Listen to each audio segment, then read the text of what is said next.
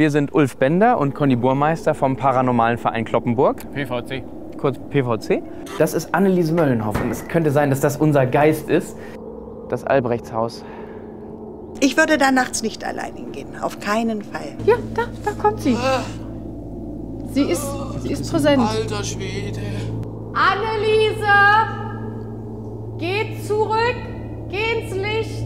Die steht im Fenster. Dreh durch. Ich dreh durch. Wer ist das?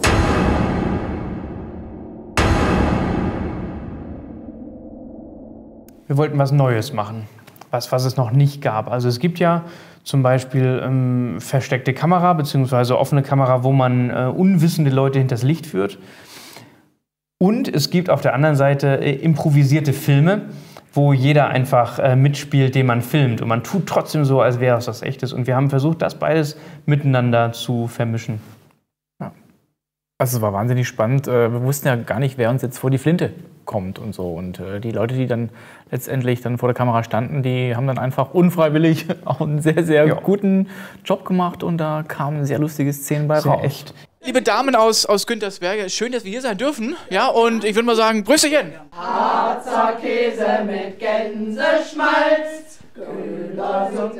Ähm, also bei den Maigrans Bindefrauen war es nicht so schwierig, weil die hatten auch schon gut einen drin. Also schon ein bisschen Maibohle irgendwie. war sehr gesellig, gesüffelt. sehr Es war angenehm. sehr gesellig. Und da muss man ein bisschen seinen, seinen Charme spielen lassen. Und da hat der Conny dann auch wirklich, also wirklich alles gegeben. Die Heidi. Heidi, Heidi, darf ich Heidi sagen? Jetzt. So. Die Heidi. Ja, es gibt wirklich irgendwelche Dinge, die sind einfach nicht zu erklären. Ja, also es gab den Film, es gibt den Film äh, Trollhunter und ähm, an diesem Found Footage haben wir uns ein bisschen entlang gehangelt, ähm, dass wir so ein bisschen in die Richtung gehen wollten und da haben wir dann dieses schöne Set, das Albrechtshaus, äh, entdeckt im Internet. Es ist ja, ist ja per se schon tierisch gruselig und da wollten wir dann auch hin, das, nach Stiege im Harz und dann ähm, ja, hat das Ganze so irgendwie seinen, seinen Lauf genommen. Wir haben ein, ein loses Drehbuch geschrieben, waren ähm, vor dem Hauptdreh einmal auch noch vor Ort und haben da äh, die Geisterszenen gedreht für die Überwachungskameras, damit dann praktisch äh, unser Medium auch ein, ein bisschen veräppelt werden kann. Und ja, das Ganze nahm einfach eine super Dynamik an. Spürst du schon irgendwas jetzt hier? Hm. Und wie äußert sich das? Ähm, ich kriege immer so einen Druck. Wenn ich weiß, es sind ähm, Energien da, dann habe ich so einen Druck auf die Ohren. Es ist so über den Kopf. Wie heißt eigentlich der Mann von der Hexe? Wie heißt denn der Mike? Der Hexerich oder oder oder? oder? Mein Satansbraten das. Satansbraten, das Mein passt. Satan. Ich glaube, wir müssen noch eine Etage höher.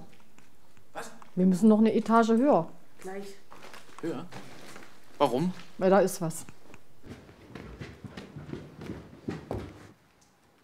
Jetzt ist da. Jetzt habe ich was. Weil ich habe ganz viel Druck auf die Ohren. Ist auch ganz kalt. Nee, wir sind noch nicht fertig. Wir dürfen hier noch nicht weg. Also ich kriege hier noch eine ganz kalte Ebene und es haucht auch. Ja, hatten GoPros aufgestellt und äh, einen Bewegungsmelder und ein Babyphone, um wirklich über alle Kanäle Geisterpräsenz äh, beweisen zu können. Aber in Wirklichkeit ähm, zeigte der Monitor, wo wir sagten, das ist jetzt live die Kamera in dem Raum da hinten, wo wir denken, dass der Geist ist, zeigte ein Video, das wir vorgefertigt hatten. Und wir wussten immer so grob, wann die- Timecodes sind, wann der Geist wieder erscheint, eingeblendet wird. Und ähm, da musste dann halt immer so bis dahin dann gemeinsam auf die Kamera oder auf den Monitor starren und dann auch total überrascht tun, wenn natürlich dann plötzlich dieser Geist da aufploppte. Aber das ist- war schon sehr authentisch. Ja, sie durfte nicht weggucken in dem Moment, wo der Geist erscheint. Da musste man irgendwie so, so sanft dahin drängen, dass sie dann genau guckt und den Geist auch sieht. Die war gar nicht schwer krank, die Frau. Die hatte vielleicht ein bisschen was, aber die haben sie regelrecht aus ihr Leben gezogen. Ich sehe was. Was? Ich sehe was. Wo? Was denn? Na, links war jetzt. Hier, da, da kommt sie. Sie ist, sie ist präsent. Alter Schwede. Also wir hatten Inga dann auch gesagt, jetzt stell dich da mal in dieses Fenster rein, ähm, als wir dann zum zweiten Mal in diesen Küchenraum da kamen. Und ähm, ja, der Raum war zum Glück gesplittet, also die konnten, die konnte sich hinter so einer Wand verstecken. Aber der Mike, der Ehemann von der Harzhexe, der ist dann auch schon ein bisschen rumgegeistert. Hallo, wir sehen dich. Was ist los? Was? Sie steht im Fenster. Ich dreh durch. Ich dreh durch. Mike, wer ist das? Schauspieler, alles klar. Langweilig, können wir nach Hause gehen. Ach so, Schauspielerin, ja. Ähm, Also man hätte meinen können, dass, ähm, dass sie das irgendwie mehr mitnehmen würde, dass es nur Betrug war, weil sie das ja immerhin wirklich glaubt, dass es Geister gibt. Aber andererseits, es kann ja auch weiterhin Geister geben, also in ihrer Welt, nur weil wir einmal einen gefaked haben. Und insofern hat das ihr Weltbild nicht zerstört. Und sie war uns auch nicht böse, das war sehr sportlich von ihr. ja. Es ist, wir können es jetzt auflösen, ihr Lieben, es ist ein Experiment, das wir gemacht haben. Cool. Ein, ein, wirklich ein, ja, es ist ein, ein Fernsehexperiment. Wir sind Dennis und Jesko. Und bei uns war es, also es ist einmalig im deutschen Fernsehen, dass man eine Geschichte kreiert, Geil. die mit echten Menschen, also von und mit echten Menschen handelt. Also Schauspieler das, ist können das, das das nicht, Einzige, was du kannst. Das, das was, was du Das stimmt, du kannst. hast da total recht. Das Einzige, es, es, es ist wirklich so. Deswegen brauchen wir dich. Ja, Herrlich. also Herrlich. das ist Anneliese. Anneliese. Hallo, Lieschen. Ich finde das so geil. Anneliese Möllenhoff. Anneliese Möllenhoff, alias Inga Frick. Und Inga hat es natürlich auch schwer gehabt. Also bei dem ersten Dreh, da waren wirklich minus 20 Grad, obwohl es eigentlich auch schon April war, ne? Ja, Ja. es war ordentlich Boah, kalt. es- Minus 20? Und sie stand da mit ihren, ja. mit ihren Moonboots äh, und ihrem Geisterkleidchen da. Ah, das war die Hölle. Anneliese. An, mit Moonboots. Anneliese, oh Anneliese. Oh, ich hatte die ganze Zeit Sorge, dass wir auffliegen, weil ich dachte, das kann doch keiner glauben, dass jetzt nun gerade wirklich ein Geist gefilmt wird. Aber äh, un, unser Opfer hat das alles äh, mitgemacht und äh, Und hat den Geist ja sogar gespürt, den es ja gar nicht gab. Aber das war umso bemerkenswerter. vielleicht hat sie Ingas Präsenz gespürt, Wahrscheinlich, obwohl ja. sie hat die, nee, sie hat glaube ich die Geisterpräsenz wo gespürt, wo gar keiner war. Also, naja. Und das Drehen mit den Jungs? Die sind chaotisch. Die sind absolut chaotisch, aber es klappt alles. Also die sind, die sind irgendwie so im wahren Leben auch so ein bisschen ähnlich wie Conny und Ulf.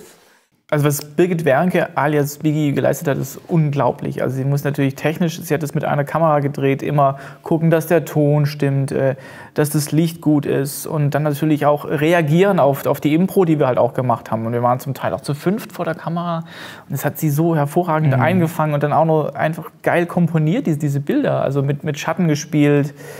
Ähm, was auf den ersten Blick jetzt gar nicht so auffällt, aber wenn man da genauer hinguckt, also es ist ähm, Heldentat, Birgit. Ja. Und gleichzeitig musste sie ja immer in ihrer Rolle bleiben und Ja. gleichzeitig unsere äh, Fiktion mit aufrechterhalten gegenüber der Harzhexe, die wir da ja nicht eingeweiht haben. Die hat einfach sich selbst nicht gespielt, sondern sie war sie, äh, sie selbst in dem Moment und hat wirklich geglaubt, da einen Geist zu spüren. Und Und ihr Mann auch. Also ihr Mann, der eigentlich äh, sehr auf dem Boden der Tatsachen verwurzelt ist, äh, musste dann auch wirklich ganz schön schlucken. Und als da dieser Geist äh, auf der, auf der Kamera irgendwie aufgetaucht ist, auf dem Monitor, ähm, da ging, dem, ging dem schon der Stift auch ein bisschen. das war ein Grafiktrick. Also insofern ist äh, die Grafik auch noch vielleicht ein Teil Ja. des Teams, der nicht zu vernachlässigen Ja, ist, Olli weil Ende. es ziemlich gruselig Ja. aussah. Olli Andy ist auch ein Allrounder, der, der nicht nur das Make-up gemacht hat für unseren wunderbaren Geist Inga Frick, sondern einfach auch tolle Grafik, alles schön transparent, schön, schön krisselig und ähm, ja, schon schön auf eine falsche Fährte geführt hat.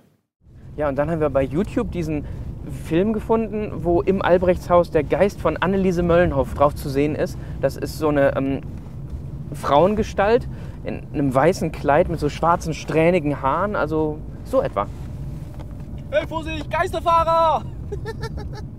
Also vom Look her bin ich mega zufrieden. Also besser kann man es, glaube ich, nicht machen. Also da hat Birgit wirklich äh, großartige Arbeit geleistet. Und äh, für das, dass es ein Experiment war, bin ich halt total zufrieden. Also uns hat es Spaß gemacht und es ist, glaube ich, sehr kurzweilig.